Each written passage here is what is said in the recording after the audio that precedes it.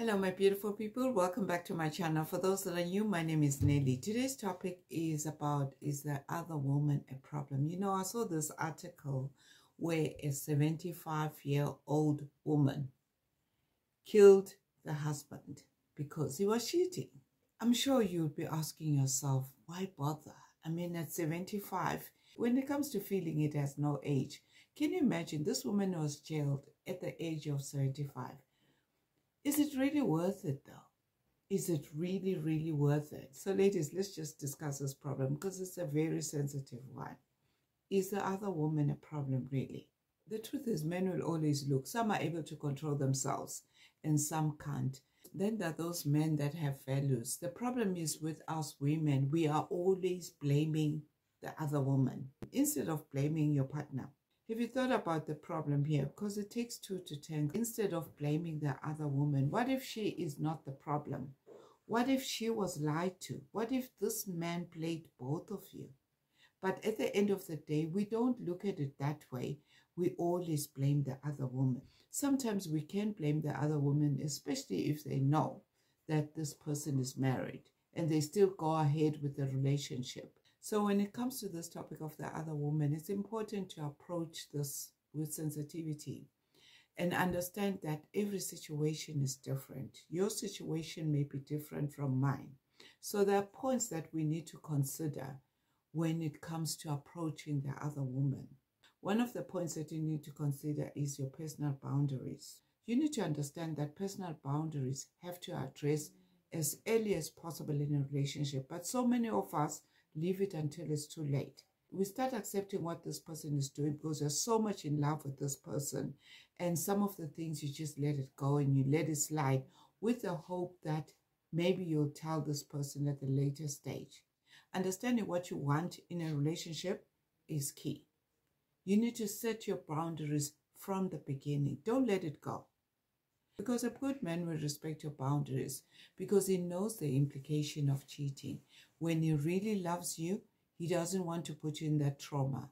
So the next point that you need to think about is open communication. Open about everything, what you want and what you don't like. Reflecting on what you want in a relationship gives clarity to the other person. If you don't do that, the other person won't know what you want. The problem is we never ask these questions.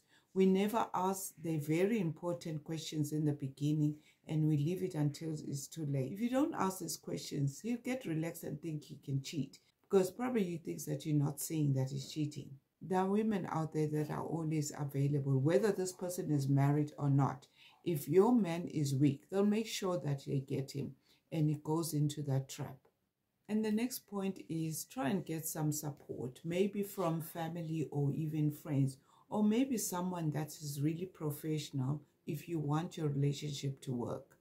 Remember, focusing on you and your well being, it controls the situation and you become more productive than trying to focus too hard on the situation. This brings a lot of stress because once you're overthinking of things, you're overthinking that your relationship is not working or your husband has started cheating or all sorts of things, it affects you and it affects your career as well. Then health issues will start creeping in because you're too stressed. Because blaming someone is a complex issue, especially in situations like a relationship.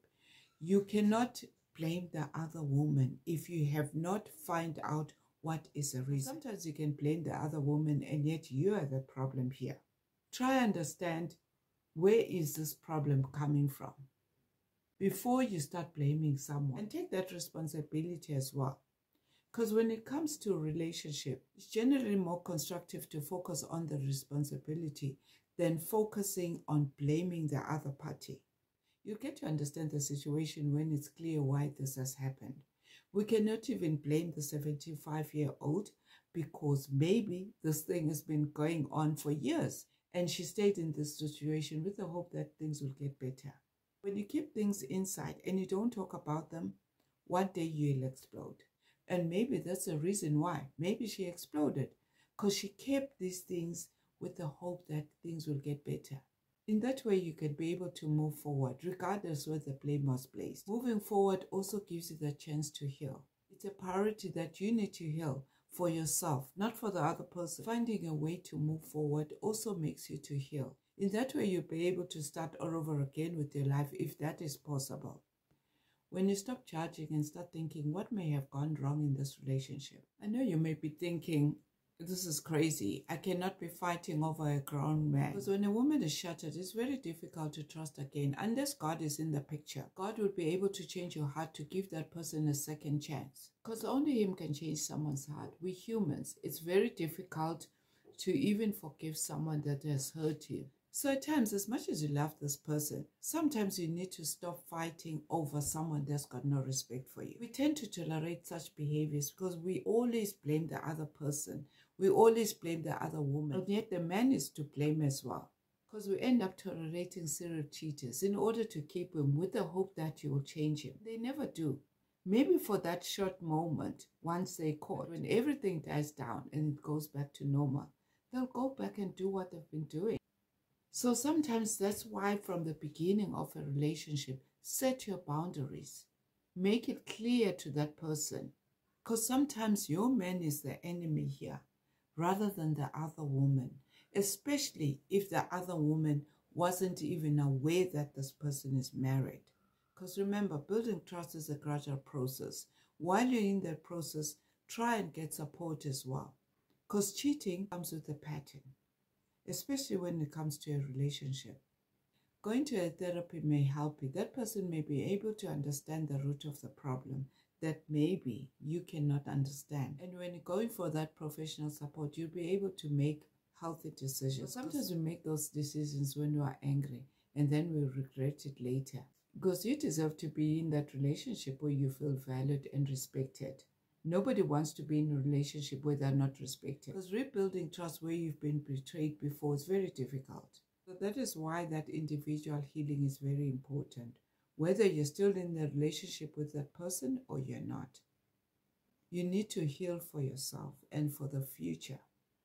The future that you are planning for yourself. If you're both willing to continue with this relationship, you need to honestly assess. You need to change those little things that you both took for granted. It's important to make that choice that will align with your values and well being. So don't go chasing the other woman because you don't know.